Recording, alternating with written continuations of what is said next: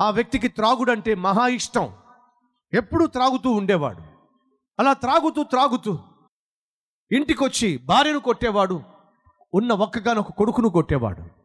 భార్య మొత్తుకునేది అయ్యా నీ వల్ల మాకు శాంతి లేదు సమాధానం లేదు సంతోషం లేదు గుప్పెడు మెతుకులు కూడా కడుపు నిండా మేము తినలేకపోతున్నాం. అన్నానికి దూరం అయ్యాం ఆనందానికి దూరం అయ్యాం ఆరోగ్యానికి దూరం అయ్యాం ఏమిటి నిన్ను కట్టుకొని నేను సంపాదించింది? పొందుకుంది ఏడుస్తూ ఉండేది ఆ భార్య. అయినా ఆ భర్తలో మార్పు వచ్చేది కాదు. తన వరకు తాను తాగాలి తన వరకు తాను తినాలి తన వరకు తాను తందనాలు ఆడాలి. అది అతని జీవితం. బాగా తాగి వచ్చాడు. ఇంటికి వచ్చి భార్యను కొట్టడం భార్యను బిడను కొట్టడం అతనికి అలవాటు.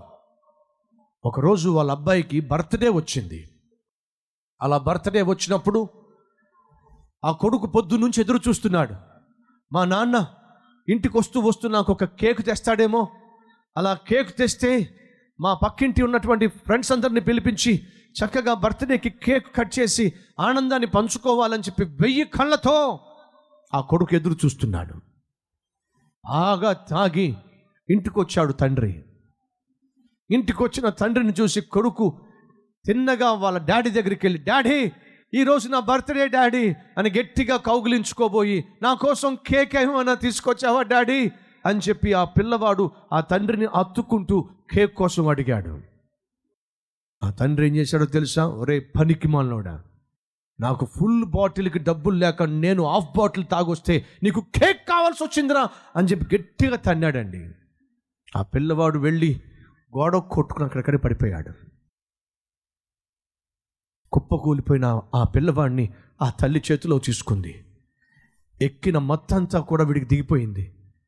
ఉలుకు లేదు పలుకు లేదు ఆ పిల్లవాడికి. గబగబా హాస్పిటల్కి తీసుకెళ్ళారు. డాక్టర్కి ఆ పిల్లవాడిని అప్పగించిన డాక్టర్ గారు డాక్టర్ గారు మా అబ్బాయిని మా అబ్బాయిని కాపాడండి. డాక్టర్ గారు లోపల తీసుకెళ్ళి కాసేపు ఎంత వచ్చారు తండ్రి అడుగుతున్నాడు తల్లి ఏడుస్తుంది. ఎలా ఉన్నాడు మా అబ్బాయి? ఎలా ఉన్నాడు మా అబ్బాయి? ఆ డాక్టర్ అంటున్నాడు ఏమైంది? అసలు వాస్తవంగా మీ అబ్బాయికి ఏమైంది? ఏమైందంటే ఏం చెప్పమంటారు డాక్టర్ గారు? కొడుకును చక్కగా చదివించలేకపోయా. ఒక బాధ్యత కలిగిన తండ్రిగా కొడుక్కి కడుపు నిండా భోజనం పెట్టలేకపోయా. కనీసం బర్త్డే నాడైనా వాడికి కావలసిన కేక్ ముక్క నోట్లో పెట్టలేకపోయా. త్రాగుడు మైకంలో ఫుల్ బాటిల్ కాకుండా హాఫ్ బాటిల్ దొరికిందని చెప్పి ఇంటికి కోపంతో వచ్చి నా కొడుకు ప్రేమతో నాన్న బర్త్డేకి కేకు తెచ్చావా? అంటే నోట్లో కేకు పెట్టాల్సిన నేను వాడికి కిక్కిచ్చా వాడిని కాళ్ళతో తన్నాను నేను. వాడు వెళ్ళి గోడ మీద పడిపోయాడు. సరే సార్ అదంతా గతం. ఎలా ఉంది నా కొడుక్కి? ఆ డాక్టర్ అంటున్నాడు ఒరే పాపిస్తోడా కన్న బిడ్డకు కడుపు నిండా భోజనం పెట్టలేని నీకు బర్త్డే నాడైనా కనీసం నోటి నిండా కేకు పెట్టడం చేతగాని నీలాంటి పాపిష్టి వాడికి? ఇలాంటి కొడుకులు పుట్టకూడదురా పాపిష్టోడా చే చేతులారా నీ మూర్ఖత్వంతో నీ కోపంతో నీ త్రాగుడుతో నీ కొడుకును చంపేసుకున్నావు కదరా నువ్వు. అయ్యా ఏం మాట్లాడుతున్నారు అవునరా నీ కొడుకు నువ్వు చంపుకున్నావు నీ కొడుకు చచ్చిపోయాడు. ఏం చేసింది ఆ త్రాగును? ఏం చేసింది వాడుకున్న అలవాటు? ఈ మాట విన్న వెంటనే ఆ భార్య కుప్పకూలిపోయింది. ఆ భార్య కుప్పకూలిపోతే ఆ భర్త వెళ్ళి ఆ భార్యను పట్టుకుని ఏడు ఏడుద్దామని చెప్పి ఆ భార్యను పట్టుకుని ఆదరించడానికి ప్రయత్నం చేస్తే ఎక్కడా? ఒక్క గాని ఒక్క కొడుకు. తను బహుగా ప్రేమించే కొడుకు చచ్చిపోయాడనేటటువంటి ఆ న్యూస్ వినగానే ఆ తల్లి గుండె కూడా ఆగిపోయిందండి. ఒకే రోజు ఈ దుర్మార్గుని యొక్క బాధ భరించలేక నరకాన్ని భరించలేక ఆ తండ్రిని విడిచిపెట్టి కొడుకు వెళ్ళిపోయాడు ఈ దుర్మార్గుణ్ణి ఇక చూడడం ఇష్టం లేక ఆ భార్య ప్రాణం కూడా గాల్లో కలిసిపోయింది. భార్య ప్రేమ దూరమైంది. కన్న కొడుకు అనురాగం దూరమైంది.